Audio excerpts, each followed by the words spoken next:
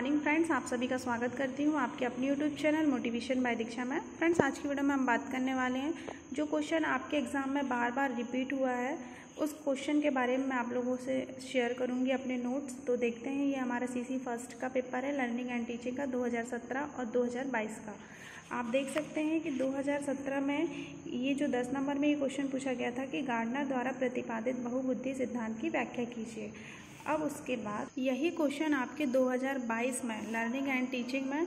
ये देखिए, ये क्वेश्चन वही फिर से रिपीट हुआ है कि गार्डनर द्वारा प्रतिपादित बहुबुद्धि सिद्धांत की व्याख्या कीजिए। तो ये जो हमारा जो ये टॉपिक है, ये क्वेश्चन है, हर बार एग्ज़ाम में आता है तो इसमें हम देखते हैं, इसको समझते हैं। तो ये रहा इसका आंसर। हम देखेंगे गार्डनर का बहुबुद्धि सिद्धांत। तो जो गार्डनर का बहुबुद्धि का सिद्धांत है, यह सिद्धांत 1983 में बताया गया, इसे प्रतिपादित किया, जिसे गार्डनर के बहुबुद्धि सिद्धांत, यानी कि Gardner theory of multiple intelligence के नाम से जाना जाता है। उनका मानना था कि बुद्धि में एक कारक का समावेश ना होकर बहुत सारे कारकों का समावेश होता है।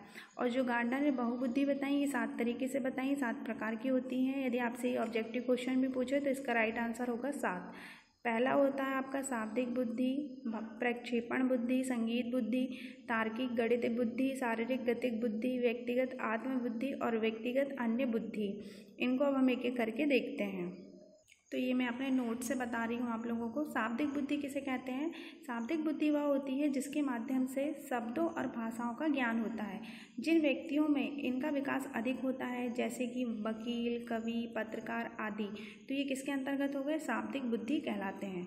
सेकंड आएगा हमारा तार्किक गणित बुद्धि लॉजिकल मैथमेटिकल इंटेलिजेंसी मतलब इसमें वे व्यक्ति होते हैं जो कि मैथमेटिक का कैलकुलेशन करना अधिक, बहुत तीव्रता के साथ कर सकते हैं। इसका यूज़ जैसे अकाउंटेंट के लिए बैंकर के लिए आदि के लिए किया जाता है। फिर उसके बाद तीसरी बुद्धि है, स्थानिक बुद्धि। स्थानिक बुद्धि वह होती है जहाँ पर आंतरिक्ष मानसिक कल्पनाओं से संबंधित होती है और जिन व्यक्तियों में इनका विकास अधिक होता है, जैसे वो मूर्तिकार होते हैं, चित्रकार होते हैं, आदि ये किसके अंतर्गत आते हैं? स्थानीय बुद्धि के अंतर्गत। मतलब ये अपनी जगह पे ही नई नई चीज़ों का क्रिएट करते हैं।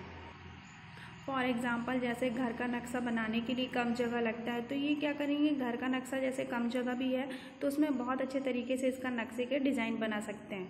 चौथा है इसका शारीरिक गतिक बुद्धि।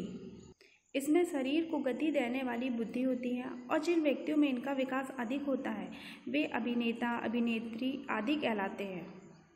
फिर नेक्स्ट है संगीतात्मक बुद्धि म्यूजिकल इंटेलिजेंसी इस बुद्धि के अंतर्गत वे व्यक्ति होते हैं जिन्हें संगीत में अधिक रुचि होती है और जिन व्यक्तियों में इनका विकास भी अधिक होता है, जैसे सिंगर हो गया। सिंगर में बहुत ज़्यादा फ़ेमस है लता मंगेशकर जी आदि।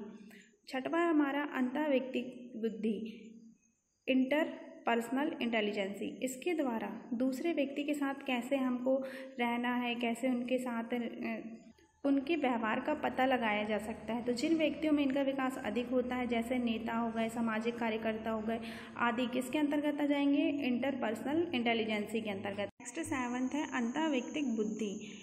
Interpersonal intelligence. मतलब ये व्यक्ति वो होते हैं जो खुद के साथ इंटर करते हैं, अपने आप को तो इनका विकास बहुत अधिक होता है। ये आध्यात्मिक गुरु भी बनते हैं। खुद से स्टडी करते हैं, खुद से सारी चीज़ों को सीखते हैं। आठवां पॉइंट है, प्रकृतिवादी बुद्धि। मतलब इस बुद्धि में व्यक्ति जो होते हैं वो प्रकृति के नज़दीक होते हैं, जिनको प्रकृति का नॉलेज होता है। इसके कारण व्यक्तियों में इनका विकास भी अधिक होता है, जैसे किसान हो गया। नेक्स्ट बुद्धि है अस्तित्ववादी बुद्धि। इस बुद्धि में व्यक्ति हर चीज़ के अस्तित्व के बारे में सोचता है। जैसे हम इस दुनिया में क्यों आए हैं? भगवान कौन है? किसने हमें रचा है? तो ये सारी चीज़ें किसके अंतर्गत आती हैं? अस्तित्ववादी बुद्धि के अंतर्गत। इस तरीके से हमने बुद्धि के प्रकार कंप्लीट किए हैं फ्रेंड्स तो फ्रेंड्स छोटी सी वीडियो आज यहीं एंड होती है।